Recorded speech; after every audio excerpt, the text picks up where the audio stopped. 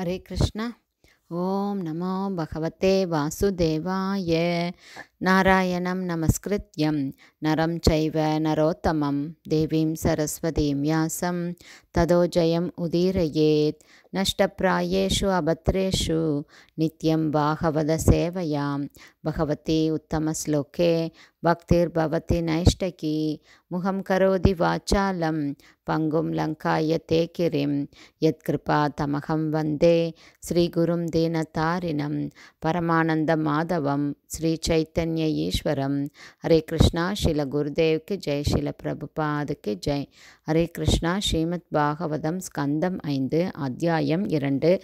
மகாராஜா அக்னிதரனின் செயல்கள் என்னும் தலைப்பில் பதம் ஐந்து.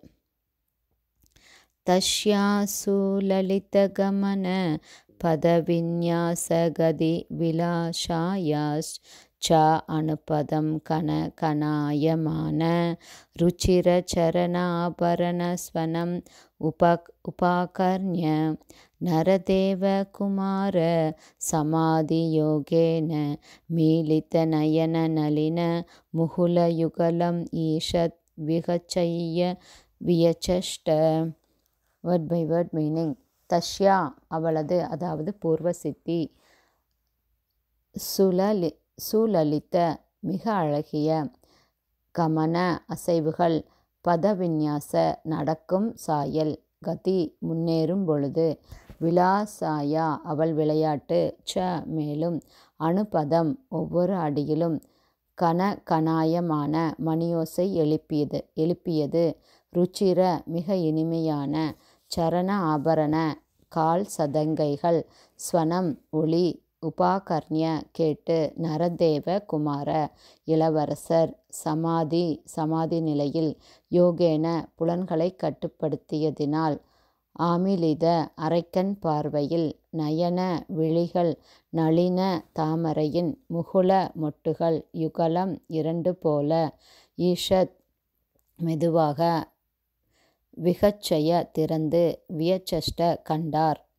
டிரான்ஸ்லேஷன் மிக்க மகிழ்வோடு பூர்வ சித்தி ஒயிலாக அந்த மிக அழகிய நந்தவன பாதையில் நடந்து சென்ற பொழுது அவளுடைய கால் சதங்கைகள் மிக இனிமையான ஒளியை எழுப்பியது. இளவரசர் தனது புலன்களை அடக்குவதற்காக பாதி விழிகள் திறந்து யோகத்தில் அமர்ந்திருந்த போதிலும் அவர் தனது தாமரை மொட்டுக்களை போன்ற விழிகளினால் அவளை காண முடிந்தது.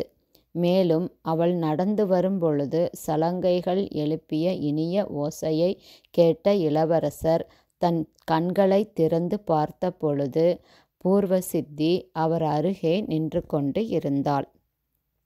பர்பட் பை ஜெய் ஷிலப்பிரபாத் யோகிகள் எப்போதும் முழுமுதற் கடவுள் பகவான் ஸ்ரீ கிருஷ்ணரையே சிந்தித்து கொண்டிருப்பார்கள் என்று கூறப்பட்டுள்ளது. தியான வஸ்தித மனசா பஷ்யந்தி எம் யோகினக. ஸ்ரீமத் பாகவதம் பனிரெண்டாவது ஸ்கந்தம் பதிமூன்றாவது அத்தியாயம் முதல் சோ ஸ்லோகம் இதை கூறுகிறது. தீய புலன்களை கட்டுப்படுத்தும் பயிற்சியினால் யோகிகள் எப்போதும் முழுமுதற் கடவுளையே சிந்தித்து கொண்டிருப்பார்கள். ஸ்ரீமத் பகவத்கீதையில் பரிந்துரைக்கின்றபடி பரிந்துரைத்துள்ளபடி யோகிகள் சம்பிரேக்ஷ்ய நாசிகாக்கிரம் என்பதை அரைவிழி திறந்தபடி பயிற்சி செய்ய வேண்டும். கண்கள் முழுவதும் மூடியிருந்தால் உறங்குவதற்குரிய மனநிலையை உண்டு பண்ணும். சில நேரங்களில் யோகிகள் என்று கூறிக்கொள்பவர்கள் கண்களை முழுவதும் மூடியபடி தியானிப்பதன் மூலம் புதிய பாணியிலான யோகத்தை பயிற்சி செய்கின்றனர். ஆனால் இந்த யோகிகள் தியானத்தில் இருக்கும் பொழுது தூங்கிக் கொண்டு இருப்பதையும் காணலாம். உண்மையான யோகம் என்பது இதுவல்ல. யோகத்தில் உண்மையான பயிற்சி பெறுவதற்கு ஒருவன் தன் கண்களை பாதி திறந்தபடி தன் மூக்கின் நுனியை பார்க்க கற்றுக்கொள்ள வேண்டும்.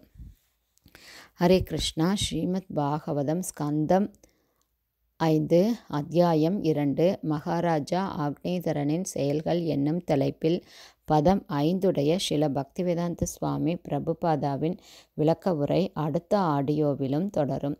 ஹரே கிருஷ்ணா ஸ்ரீல குருதேவ்க்கு ஜெய் ஸ்ரீல பிரபுபாதுக்கு ஜெய். ஹரி போல்.